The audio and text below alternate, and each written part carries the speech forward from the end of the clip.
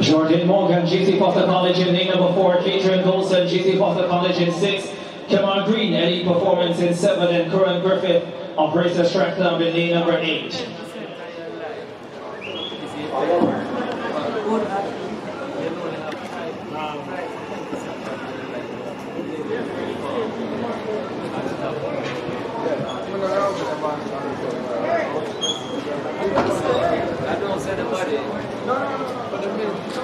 With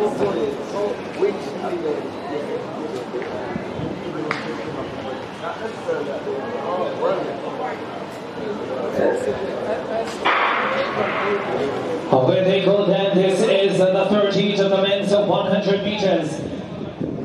Kadrian Goldson and Kuron Griffith.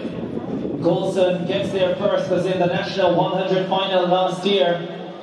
Negative 2.5 meters per second, the wind speed. Championships in the Bahamas last year as well. Negative 2.5 meters per second, the wind speed, 1071 for Kadrian Goldson, intercollegiate champion. Just about 24 hours ago, he won that title at GC Foster College. Griffith in second at 1081, the Barbadian.